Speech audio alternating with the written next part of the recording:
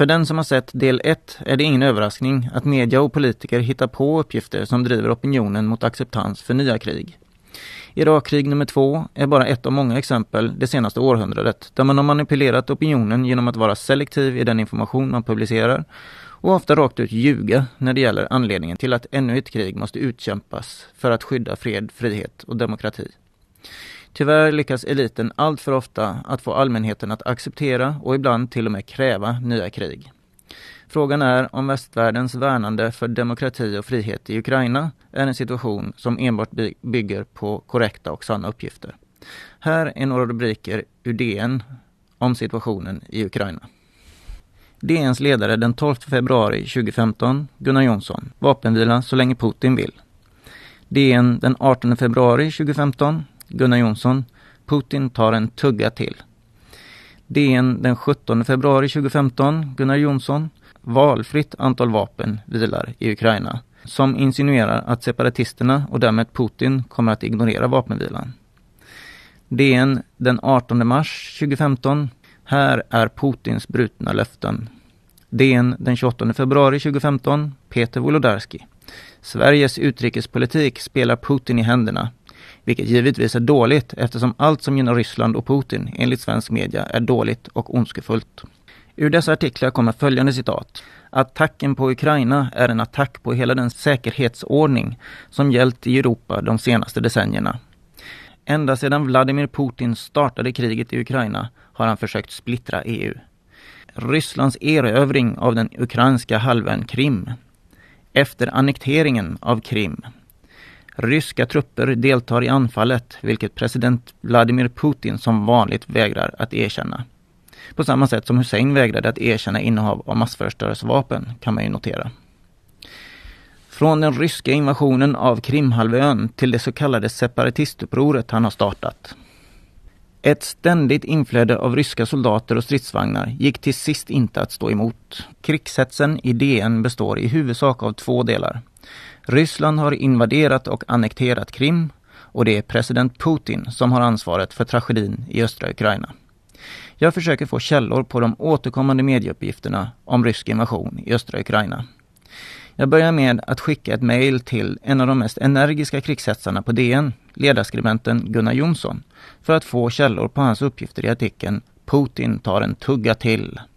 Jonsson, Jonsson skriver där citat ett ständigt inflöde av ryska soldater och stridsvagnar gick till sist inte att stå emot. Jag frågar bland annat var han fått uppgiften ifrån om de ryska truppernas och materielens flöde över gränsen. Svaret från Jonsson var följande. Hej! Säkert var det också någon ukrainare som har mördat Boris Nemtsov, inte vet jag. Men det är faktiskt ganska fånigt att förneka alla de vittnesmål som finns på ryska soldater och stridsvagnar i östra Ukraina. Kommer du ihåg Krim? Inga ryska soldater, sa Putin. Ända tills han plötsligt annekterade stället och gav de ryska soldaterna förtjänstemedalj. Jättekonstigt, eller inte? Förutom den vilseledande och alltid återkommande referensen till Krim som en rysk annektering, så är det med andra ord fånigt att inte lydigt äta alla de intellektuella spyor som propagandaorganet DN kontinuerligt serverar sina läsare. Efter återupprepad fråga är det tyst från Jonsson. Jonssons referens till mordet på Nemtsov är lite intressant. Politiska mord förekommer säkert, men såvida inte förövaren är komplett idiot så begås de inte som skjutningar på öppen gata. Ett exempel från min första video är Dr. David Kelly och Robin Cook som båda var skeptiska till krig i Irak och som båda dog plötsligt och olyckligt. Nemtsov var en politiker på dekis och utgjorde ett mycket begränsat hot mot Putins makt. Här är några underliga dödsfall i Ukraina de senaste månaderna. In the past few months, at least eight former Ukrainian government officials died mysterious deaths, with most officially treated as suicide. On January 29, former chairman of Kharkov region government Alexei Kolesnik was found hanged. On February 24, former party of region's member Stanislav Melnik died of a gunshot, with his death threatened as suicide. On February 25, several hours before his trial, the mayor of Melitopol Sergei Valter was found hanged, leaving no suicide note. On February 26, Deputy Chief of Melitopol Police Alexander Borduga was found dead in his garage. On February 26, a former MP and ex-chairman of Zaporizhia Regional State Administration was found dead with a gun wound to his neck. His death is being investigated as suicide. On February 28, former member of the Party of Regions Mikhail Chechetov jumped from the window of his 17th-floor apartment in Kiev, leaving a suicide note. On March 14, a 32-year-old prosecutor Sergei Milnichuk fell from a window of a 9th-floor apartment in Odessa. Is this political terror? No, it's Ukrainian democracy. Det är möjligt att Putin har använt liknande metoder som Poroshenko mot någon av sina reella motståndare. Men att han skulle ha administrerat en skjutning av Nemtsov på öppen gata med den negativa medieuppmärksamhet detta skapat är knappast troligt. Frågan läsaren måste ställa sig, är västmedias uppgifter om att Putin genomfört mordet på Nemtsov trovärdig och är Putin en idiot? En självständigt tänkande människa borde svara nej på båda de frågorna. Värt att notera är i alla fall att Mikhail Chodorkovsky, som var ett reellt hot mot Putins makt, då han hade mycket stor ekonomisk makt i Ryssland, bland annat som ägare till Yokos Oil, sattes i fängelse för den ekonomiska brottslighet han hade begått. Chodorkovsky benådades senare av Putin på humanitära grunder då Chodorkovsky hade en döende mor han ville ta hand om. Chodorkovsky, som är en av eliten och fortfarande ett reellt hot mot Putins makt, driver nu Putin-fientlig opinion ifrån Tyskland. Att döma av hemsidan är han mycket intresserad av Rysslands välmående. Detta är lite underligt eftersom att när Putin startade processen att förstatliga Yukos Oil som Chodorkovsky lyckas komma över aktierna till, gjorde Chodorkovsky ett försök att ge bort alla aktier till bankiren Jacob de Rothschild. Hade det lyckats så hade enorma tillgångar försvunnit ut ur Ryssland, vilket inte hade varit så bra för landet. Det hade i alla fall varit mycket enkelt för Putin att, om man så velat, se till att Chodorkovskij råkade ut för en olycka i det arbetsläge som han trots allt spenderade ett antal år i. Jag har läst två av Putins tal. Talet på Valdajkonferensen 2014, vilket jag dessutom översatt åt Fria Tider och som publicerats här. Jag har också läst Putins tal till Ryska federationens generalförsamling vid avslutningen av eh, år 2014. Detta gör mig givetvis inte till någon expert på vad Putin vill och tänker. Men dessa tal rimmar i alla fall väldigt bra med vad Putin faktiskt gör. Talen är tydliga, med klara mål för den ryska nationen och tydlig med vilka värderingar som ska gälla i Ryssland. Jag kan varmt rekommendera lyssnare att läsa Putins egna ord om de haft oturen av att smittas av den mediainducerade ryssofobin som råder i västvärlden. Att döma av vad västmedia, till exempel DN, publicerar om Putins tankar och agerande, så verkar det inte som att de har läst de tal som jag läst i alla fall. Jag ringer DN för att erbjuda dem Putins tal från Waldajkonferensen så att de eventuellt skulle kunna balansera sin något ensidiga bild av Putin. Redaktionen Lena Söder.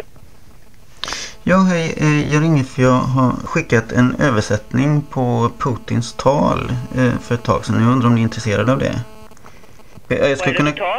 Vad är det för tal? Eh, Waldajkonferensen. Det är, han höll ett tal där för en sån här diskussionsklubb.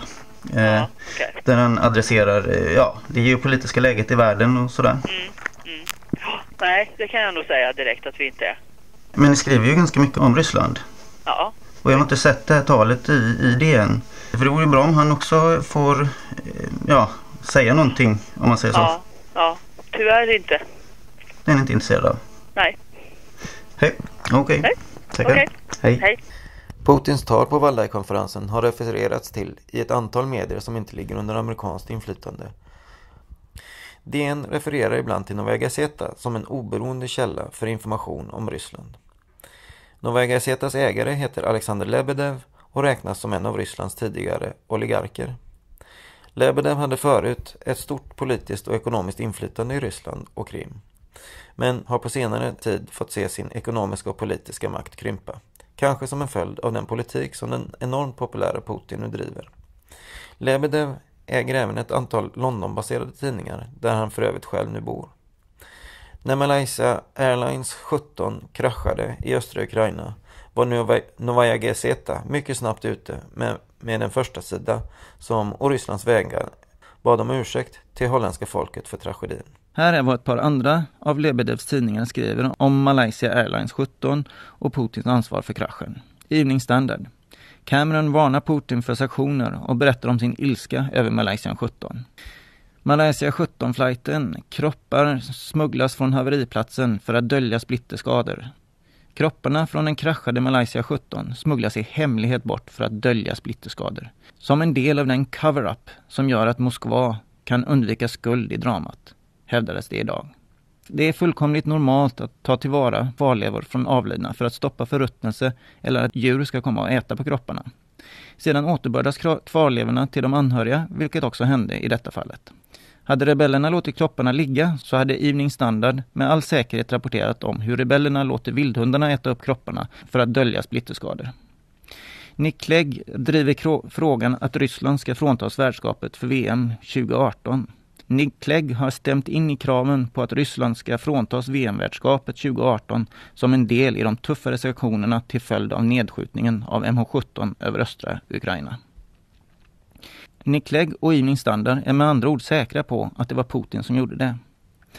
Malaysia Airlines 17. Brittiska experter tar del av utredningen. Det internationella fördömandet av de proryska separatisterna för incidenten växer, medan både USA och Storbritannien lägger skulden på milisen. Det är ju ingen stor överraskning att USA och Storbritannien lägger skulden på milisen. Huruvida det internationella fördömandet växer ska man nog ta någon annan än Evening Standard att bedöma sanningshalten av. Och så här bara det fortsätter. I Lebedevs tidningar och även i övrig västmedia är det helt onödigt att vänta på utredningens resultat innan man lägger ansvaret på Ryssland. Detta gäller även så kallat framstående politiker i väst som till exempel vår egen Carl Bildt. Carl Bildt tweetade detta meddelandet innan det ens slutat ryka ur vrakdelarna. Och han använde denna bild från eh, Digital Globe som bevis för rysk invasion i Ukraina. Beviset för rysk invasion i Ukraina är av ännu sämre kvalitet än beviset för Husseins massförstörelsevapen och helt katastrofalt dåligt i jämförelse med den kvalitet som Digital Globe har kapacitet att producera. Bildt gör ju i alla fall ingen hemlighet av vilka det är han agerar springpojk åt.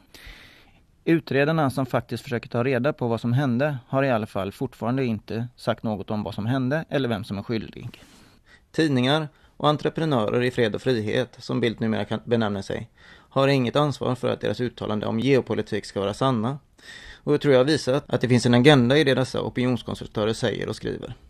Sittande politiker som gör uttalande däremot borde ha ett visst ansvar för att de uppgifter de kommer med är sanna. Detta gör Margot Wallströms uttalande i artikeln Ryssland, ett allvarligt hot mot Europas fred, lite mer intressant än andra propagandtexter som tidningarna själva producerar.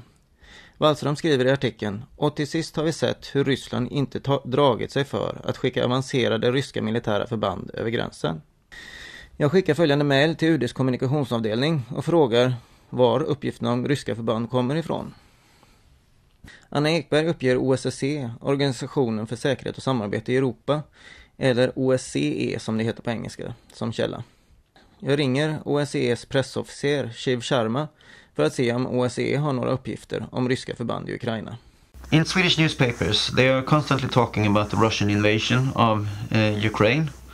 Uh, uh -huh. Do you have any any data on that?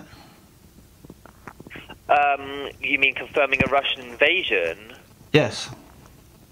Um, well, our, our monitors on the ground haven't been able to confirm whether there has actually been Russian troops or Russian military on the ground in, in eastern Ukraine. Okay, so you haven't observed any any crossing of heavy equipment uh, between the Russian-Ukrainian border? or not troops? along the border, no. Not along the border, no. Okay. But even but even within the security zone, that's true as well.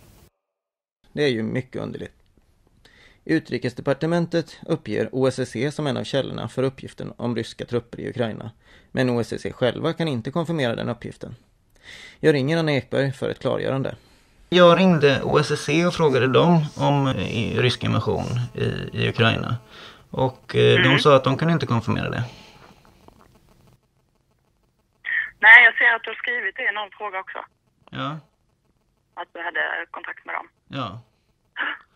Men du säger Nej, att det är en... De källor vi kan, alltså organisationen fattar ju sina beslut och vi fattar våra beslut inför våra ställningstaganden baserat på den information vi har och de källor vi har. Ja.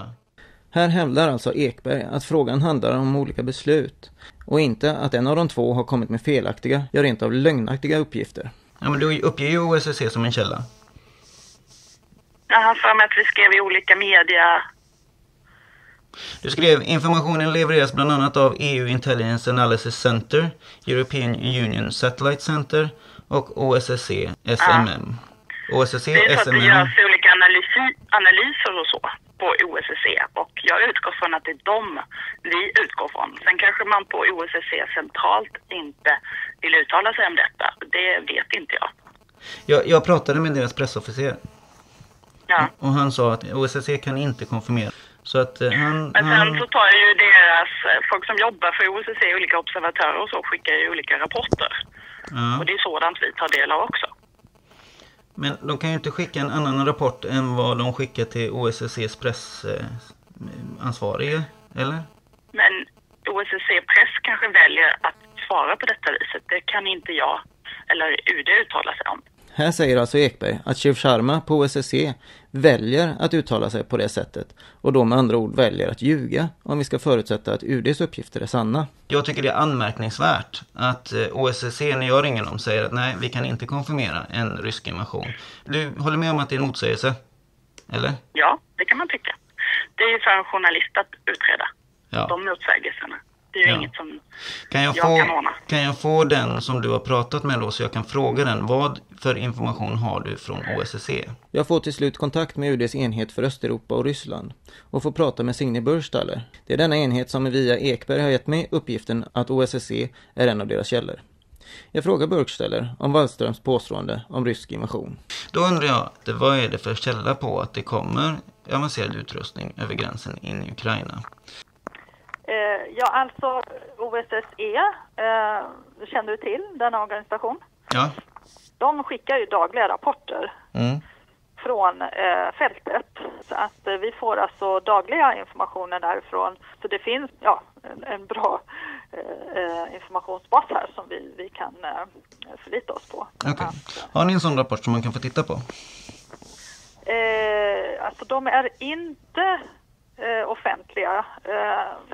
Detta är lite underligt då Shiv Sharma som sitter i Wien dit rapporterna kommer innan de skickas till medlemsstaterna hade detta att säga om de dagliga rapporterna. Do you send reports that are not open to the general public to to the Swedish Foreign Department? Um, I would say the vast, um, high majority of our reports are shared with the public. There can sometimes be political sensitivities, but I have to say these are these are incredibly rare. I mean, I can only think of two or three occasions on which this has happened in the in the in the last in the last year or so that we've been issuing public reports. Anledningen till de fåtaliga tillfällena av sekretess är antingen gällande helt interna saker inom OSSE eller om rapporten innehåller politiskt känslig information. I fallet med utrikesministerns anklagelse mot Ryssland så kan skadan knappast bli större än den han redan har ställt till med genom att anklaga Ryssland för kriget i Ukraina. Att belägga påståendet skulle snarare minska skadan än tvärtom. Sharma säger också att det bara hänt två, tre gånger under de senaste 365 rapporterna. Med andra ord borde det inte vara något större problem för UD att visa någon om de övriga 363 rapporterna som eventuellt stödjer utrikesministerns påstående. Antingen ljuger UD och Signe Burstaller eller så ljuger Shiv Sharma.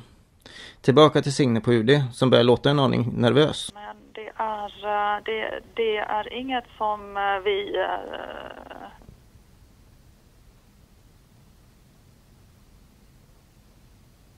Hallå? det- I så fall så, nej det, det är ingenting som vi delar så att säga, det är ingen så att säga eh,